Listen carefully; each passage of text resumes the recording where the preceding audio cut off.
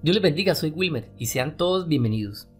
Existe un fenómeno electoral que debemos de estar muy atentos y que es conocido como la sorpresa de octubre y que se da en los años que hay comicios, el cual surge de repente en vísperas de las presidenciales en Estados Unidos en forma de noticias o revelaciones de impacto que logran alterar el balance de la simpatía de los votantes estadounidenses. Según explica el especialista en política estadounidense Oscar Wimber, Dicho fenómeno es esencialmente algo inesperado, que sucede muy tarde, generalmente en octubre, en la fase de campaña, para influir en el resultado. De acuerdo con este experto, existen tres categorías de sorpresas de octubre. La primera, Estados Unidos realiza un repentino paso diplomático en el escenario internacional. La segunda, una filtración sobre el pasado de un candidato, provoca un escándalo político.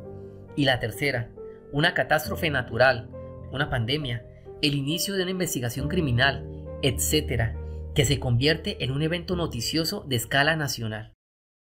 La primera sorpresa de octubre se registró en Estados Unidos el 26 de octubre de 1972.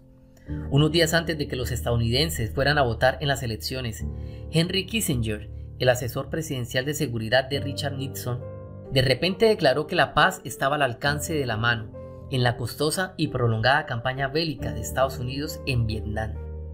Esta perspectiva de paz permitió que Nixon ganara a su oponente con una abrumadora mayoría, superándole por 18 millones de votos. El hecho de que menos de dos meses después las conversaciones iniciales de paz fracasaran ya es otra historia.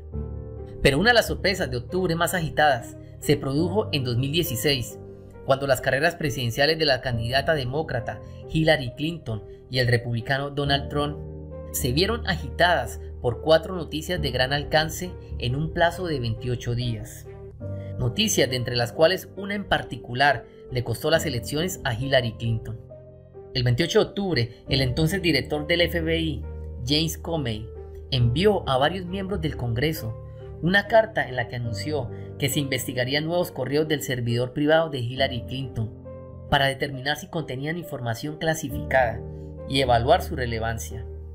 A pesar de que el director del FBI no reveló en aquel momento el contenido de ninguna de las cartas investigadas de Hillary Clinton, la noticia en sí sobre la investigación del FBI le costó la carrera a la candidata demócrata. Ahora bien, ante esto, la pregunta que debemos de realizarnos es la siguiente.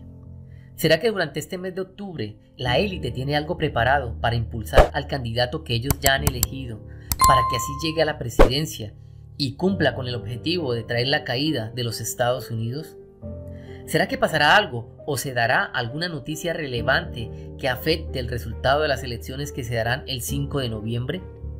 Y la respuesta es que no es de extrañar que en medio de este mundo se dé algún evento geopolítico que termine afectando o impulsando a algún candidato, como puede ser lo que está pasando en Medio Oriente en estos momentos, o una emergencia sanitaria internacional, entre otras cosas.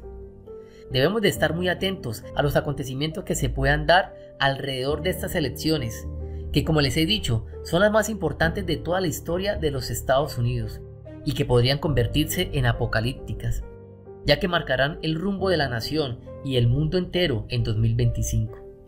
Quiero agradecer a todas las personas y miembros del canal que voluntariamente han venido sembrando en este ministerio por medio de PayPal, los supergracias de YouTube y Western Union. A todos ustedes mil gracias por el apoyo que nos dan para seguir adelante en esta labor de alertar al mundo de lo que viene. Dios te bendiga, Dios te guarde. Muchas gracias por estar aquí.